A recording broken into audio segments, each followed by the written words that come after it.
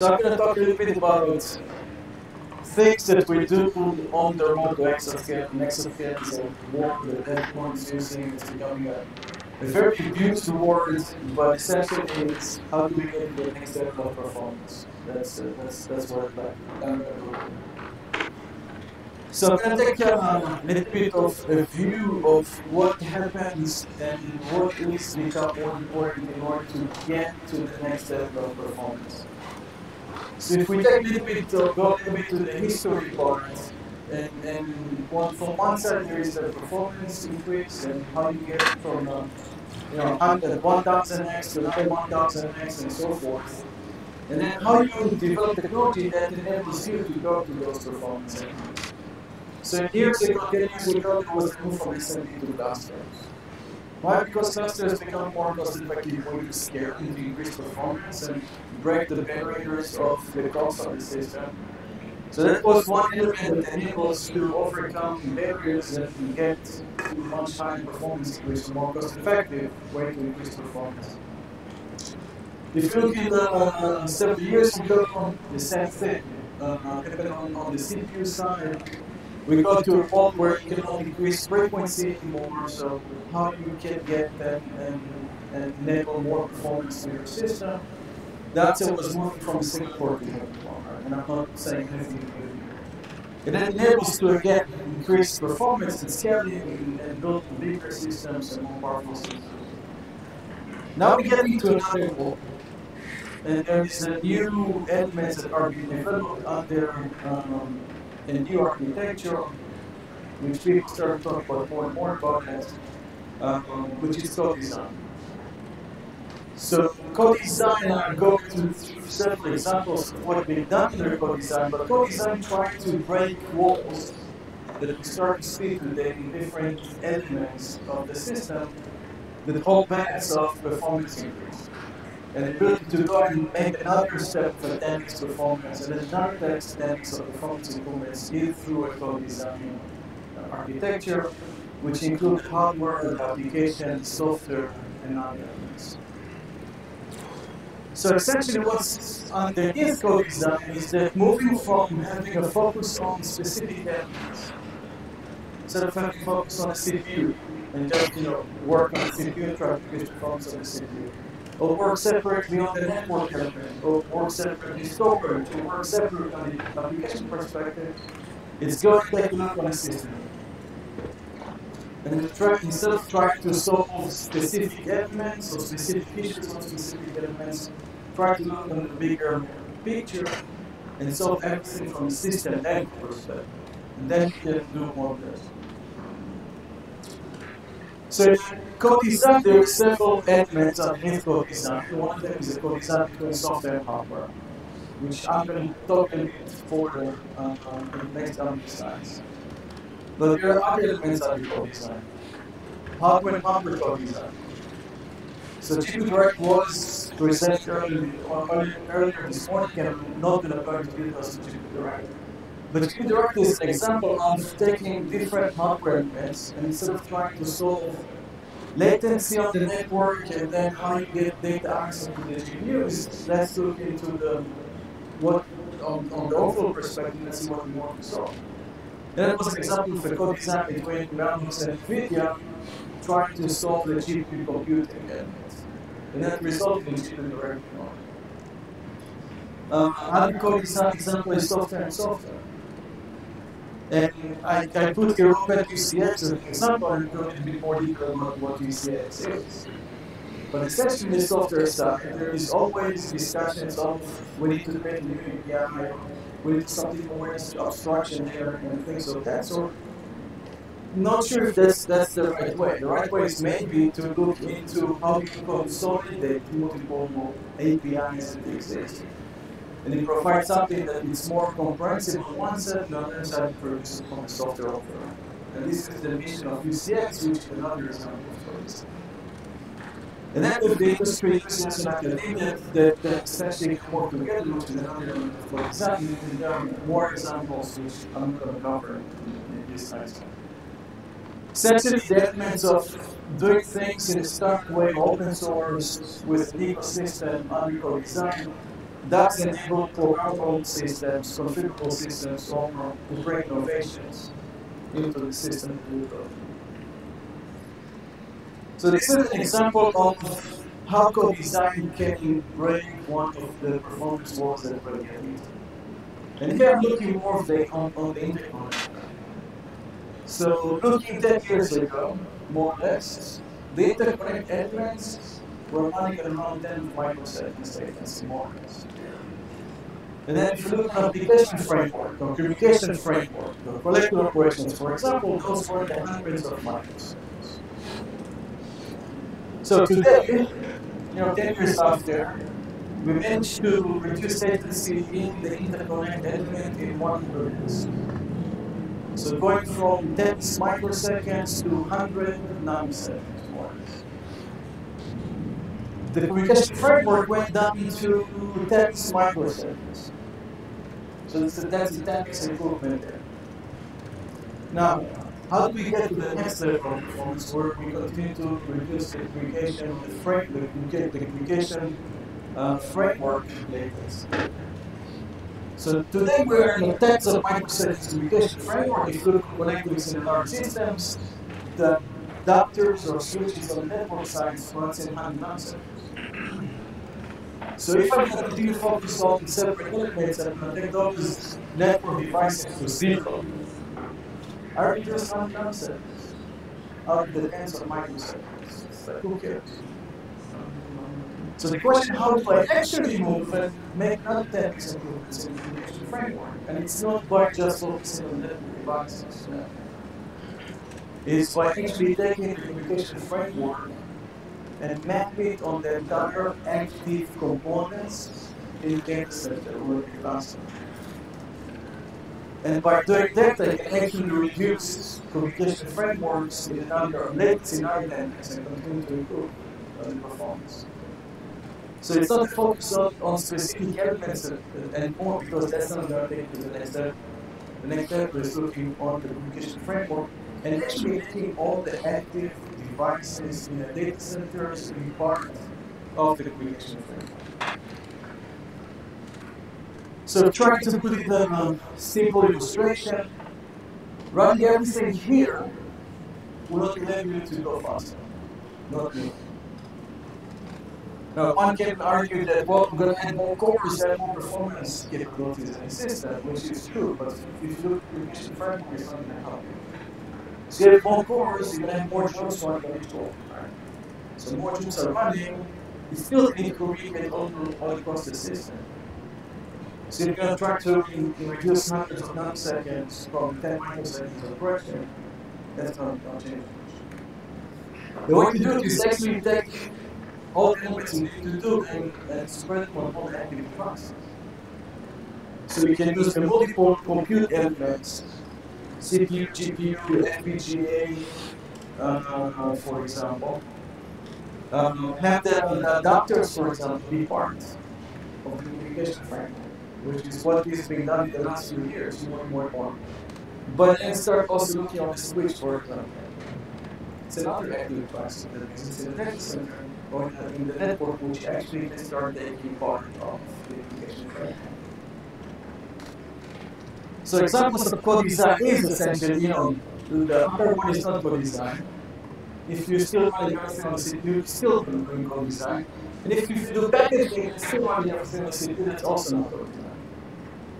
So, so co-design is take advantage of any active and or active components in the data center and use them for or to be part of the good communication framework.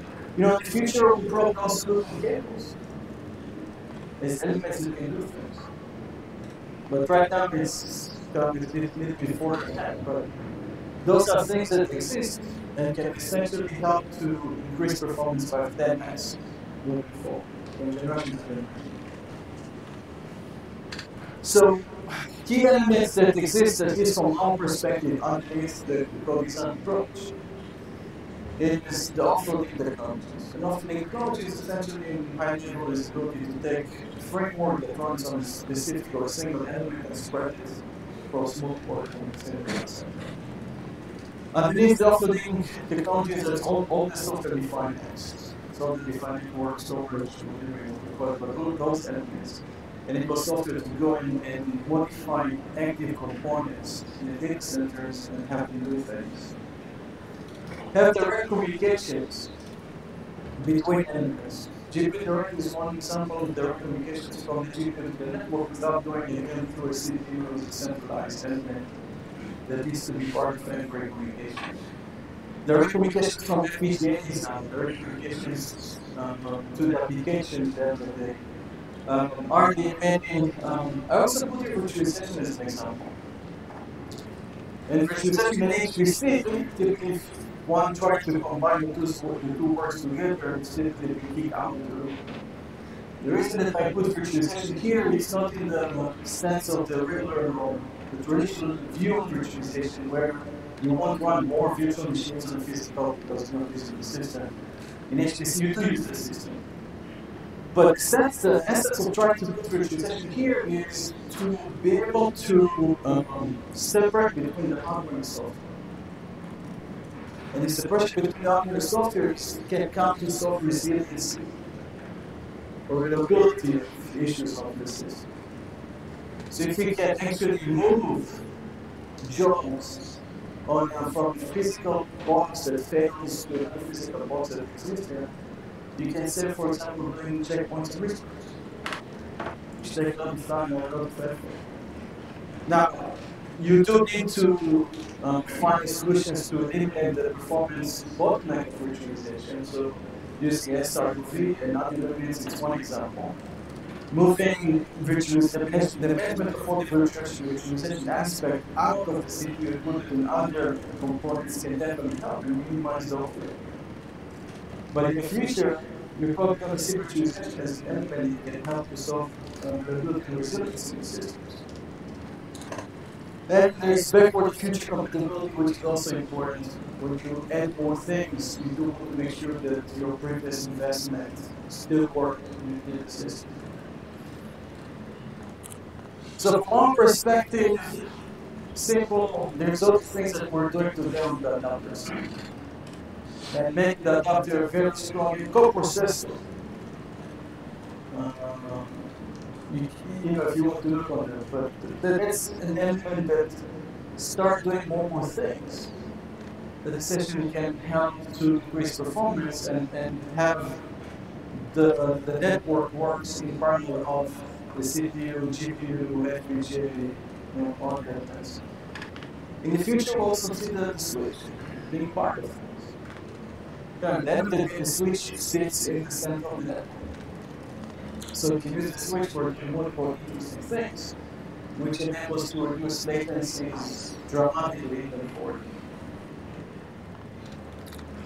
So that's that's about co-design. We're gonna hear more things about the co-design moving forward, but it's in, in our eyes and, and companies and users working with one of the key elements to enable the next level performance.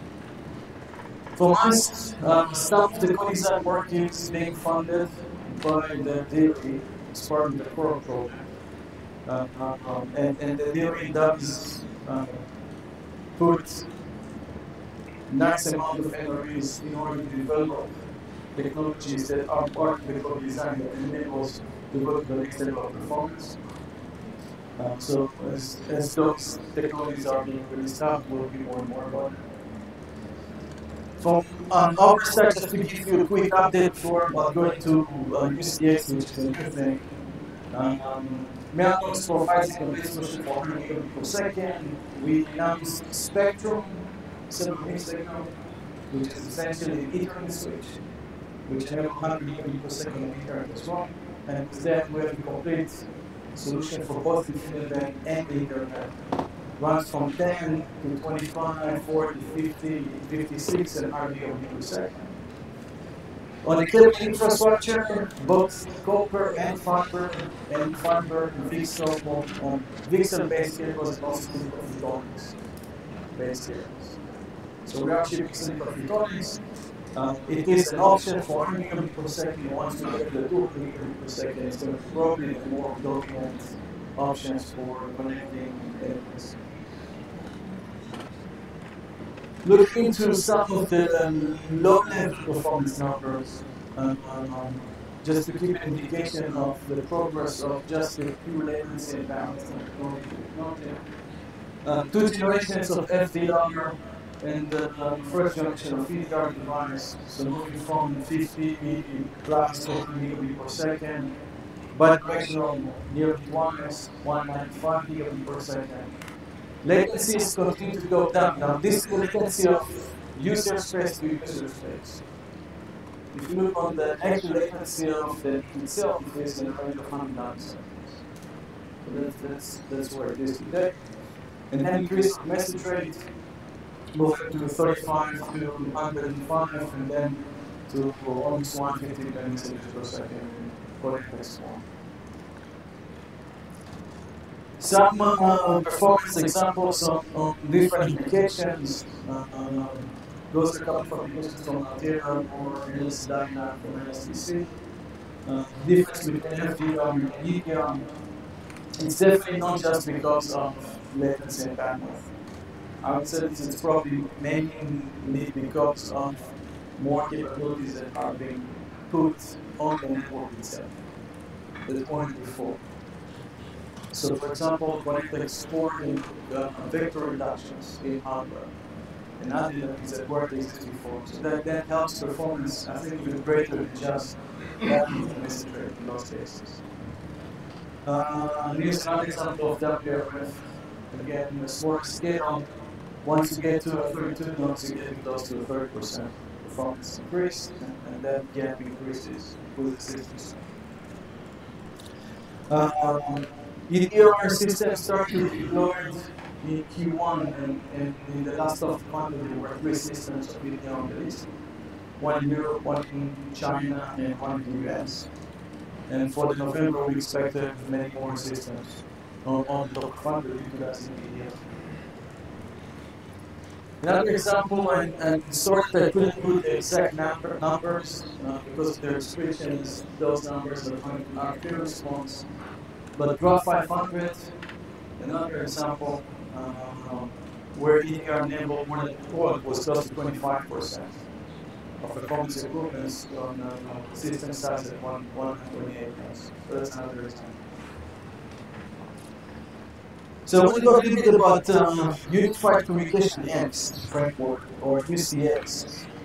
And uh, that's another example of the co-design. I mentioned before software software code and, and I put UCX as an example. Um, this is what it is. So UCX in, in a big word, uh, it was announced at, ISC, so in July. And the motivation was to bring the next generation of HPC software framework basically by not creating a new API that here there's one more, uh, more than others, but actually try to unify things that exist out there.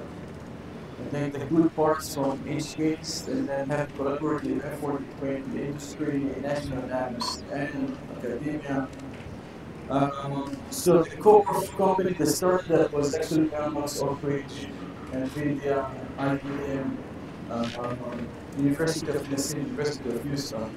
They were the core, core, core guys that uh, started with that. Um, Arco joined the effort, Osama Stone joined the effort, and Noah Stephen Moore joined the effort. So the effort around these is getting uh, strong momentum. There's more and more folks involved in the development uh, of the framework. Basically, uh, motivation was to take things that were developed, combine them together, and take that to the next step. So the core components were um, from Alps, which was a, a framework to um, accelerate MPI HMD as UPC. Uh, IBM had PAMI, if you're aware of that, so it's something they worked on. And then um, Oak Ridge were developing uh, a solution that was called UCCS. It was co-developed by Oak and, and also the um, so the first step was to take those three together and combine them into one. So it's not that's another APIs, that's unified. And after creating a single API or, or unified framework here, the motivation was to look into things that can be added or modified, or changed in order to first support multiple um, communication frameworks on top of that, to support multiple systems underneath, and to reduce the software offer. So you want to go direct as much as possible to the hardware levels, and with that increase performance. So there's a creation of API, uh, which is focused on performance oriented, uh, um, community driven, it's open source now, and people can learn and, and join the effort of these things. So there's three elements in the framework. There's one for services that provide platform instructions and data structure. Uh, there's another element for um, transport uh, to bring um, um, work request setups and other things related to the different network elements. Um, and then elements that we call them protocols, which essentially make it easier for people to use uh, complex technology that exists, for example, in the. So this is, uh, um, sorry for this maybe small font, but this is a, a, a diagram of what UCX is. So on one side, supporting API, Shemanium, um, um, and, and other elements, and there's on top of for example, support multiple framework top of or communication framework. And then to be able to support the different domain um, domain uh, messages, RNAs, atomic, rendezvous, tag matching, and other things. And then different transport. So there is first, which means cover InfiniBand, but it also covers internet it also covers IMAP, for example. Uh, there's transport for credit devices. So Gemini and RBC as well. And then for shared memory um, elements and others. So, so the motivation is to be able to support multiple transports there, not just one. And also reduce the overhead. The software overhead is not the number of layer, but to reduce the overhead, then go and work directly either on the hardware or on those elements to the hardware. So in Open Fabrics, for example, there is an effort to create um, accelerated verbs as part of the verbs interface. It enables to go much uh, faster or simpler to the hardware. And with that, reduces software complexity. So I think I mentioned that before, uh, those are the core companies that, that create UCX, and I was seeing a very nice uh, and strong momentum on more people joining. Uh, so now we brought, we, we brought MXM, or open source MXM into UCX, which covered the uh, infrastructure, transport, shared memory, and other things. All of which brought uh, UCCS, which they developed to support both RD, and create devices and share memory devices. And NVIDIA brought the GPU direct element inside, GDRCopy, and other things. I gave about packing. Then uh, uh, UTK, University of Houston, uh, help with their integrations and, and research platforms. So those are the core folks. Um, and now we have um, advisors that came that um, uh, joined from other organizations as well and we're seeing very nice momentum in the development of research. Some performance on, on my side um, UCM, is the presence of um, uh, InfiniBand versus Aries, as well as Get. InfiniBand versus Aries is the UCX. Um, and showing very nice performance improvement there, or performance advantage.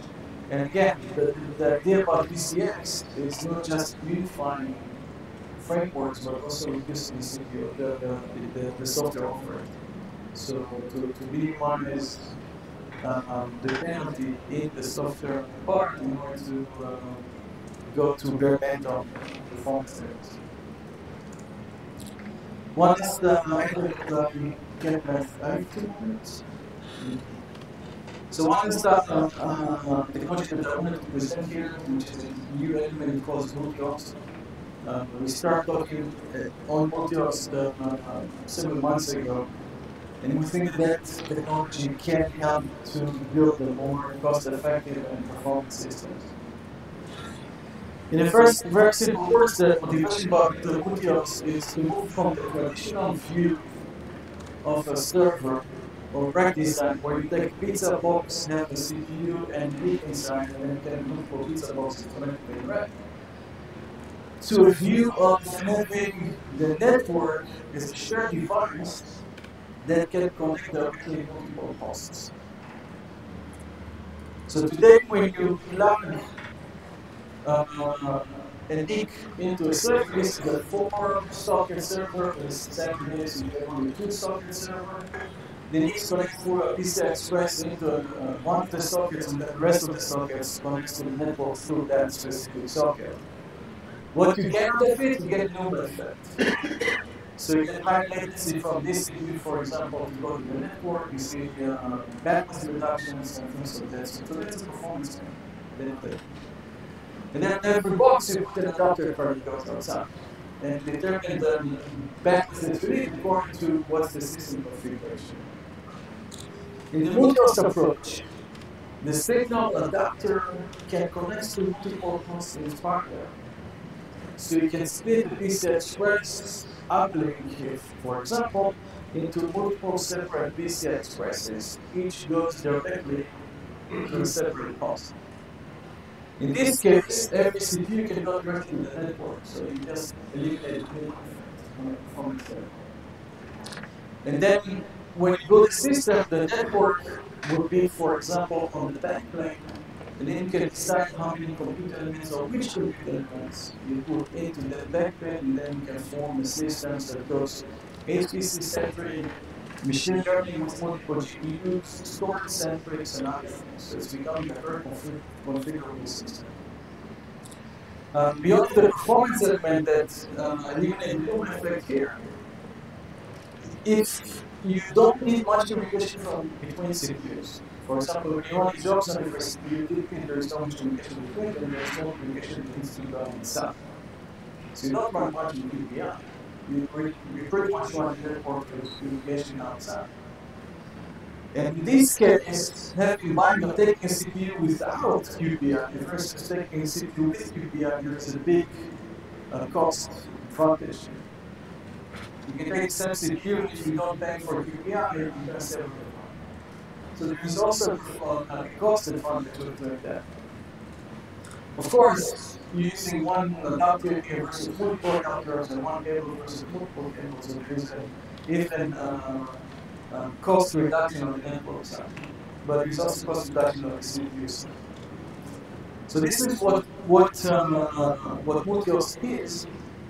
Another advantage is when you're putting GPUs in the system, and you want to take advantage of GPU direct, you need to make sure that the GPU and the network sits on the same PCI Express root complex.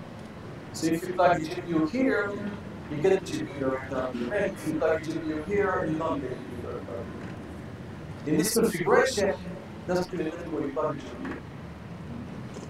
You get GPU direct from every PCI Express. That's another performance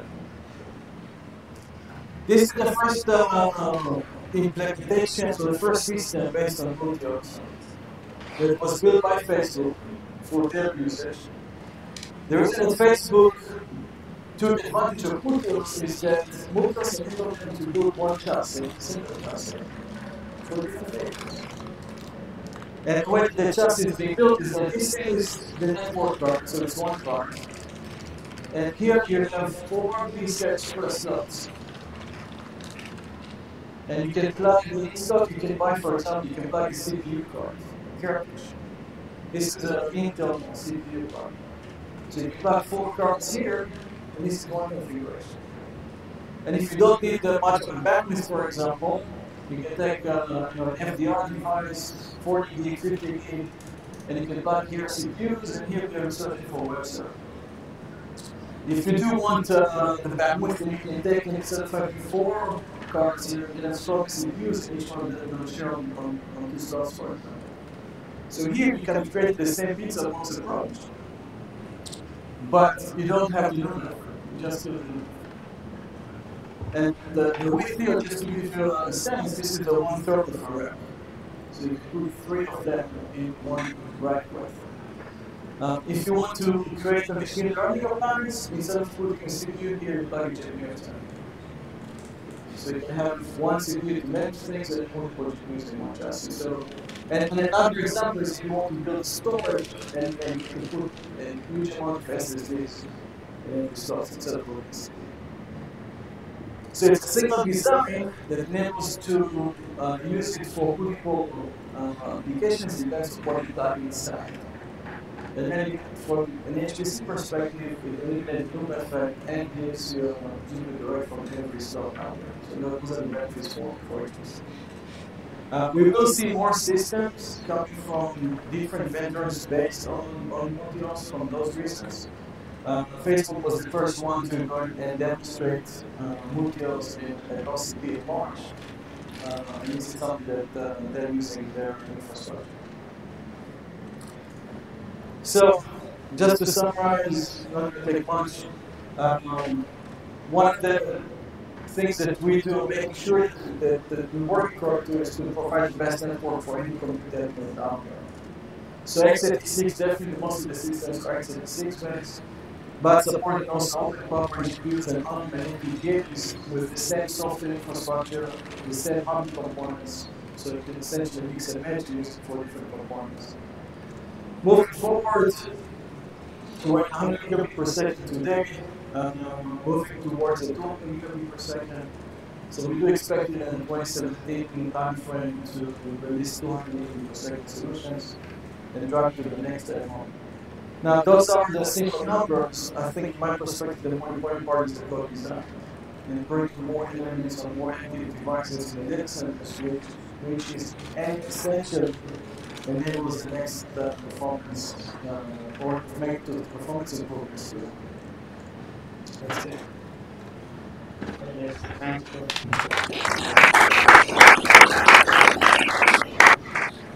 Any uh, questions? Yes. Please use the microphone. Just, uh, is the uh, Facebook system is that a 100 gig Ethernet connect, or they're using the card as 100 gig Ethernet, or is that they doing something special with InfiniBand? Well, what I can tell you what Facebook demonstrated. So what Facebook demonstrated is a device here that can go and, and support 25, or it can support way, all the way from 10 to 100. Uh, what they demonstrated was an Ethernet device, which does, uh, I think the demo itself was running at um, uh, 40 or 50 gig speed, but the device can go from 10 to 100. Um, now, the same device can also run InfiniBand. So it, it doesn't hold you, you can do both InfiniBand and and Ethernet, what Facebook demonstrated is an Ethernet device. Any other questions? Just a quick clarification on the group numbers that you Um, Just a quick uh, clarification on that. So that was uh, the middleware was UCX in both cases, just that uh, the underlying uh, hardware changed from IB to Aries, right? Well, it's Aries is a different system, but yes, it was the same CPU powers, the same configuration, the same yes. So, thanks. Any other questions? So both the red and the blue line are using UCX. Both, so the, the blue line is using UCX because it was tested on us. Uh, on the, the gray numbers, is, it is using UCX and it was tested in a different facility. Okay, so both are UCX, but they have different networks that you're comparing. Aries is, yeah, there's three Aries and the Infinite and others. If there is time, I can ask an question. Just uh, that actually, so the put for IB and the put for Aries, the the the completion semantics are very different. So, I mean, I, I mean, I I understand that the so put for Aries when it returns on the sender side, on the initiator side, essentially implies the data is resident in memory. But on IB side, you know, it just resides. It essentially implies- that it was acknowledged by the remote adapter. So that so I putting on the same may actually because for example for put on UCX with IB you'll have to do additional synchronization to guarantee that it's actually resident in memory. You probably don't have to do that for Aries. So as, as far as I know, the put on the Philippine side was actually all the time to put the data in the In memory. US. Fine. Yeah. Okay, so again, let's thank uh, Gilad. Um, so we'll uh, move to the next talk. Um, will be given by Martin Hilgeman uh, from Dell, Netherlands. Um, so Martin has an advanced master's degree in physical and organic chemistry, um, obtained at the VU University of Amsterdam. Um, he worked at SGI for 11 years uh, as a consultant and member of the technical staff.